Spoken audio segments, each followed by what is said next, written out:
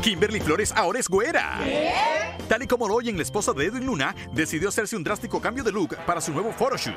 Pero no se alarmen que se trata solo de una peluca. ¿Qué es esto, vale? ¿Cómo que no? Me veo como maldita, como necia, para verme. Mientras que Cristiano Ronaldo y Georgina Rodríguez decidieron pegarse una escapadita para disfrutar muy juntitos en un lujoso yate del mar Mediterráneo. ¡Ay, qué bonito es el amor! Cuando eres millonario.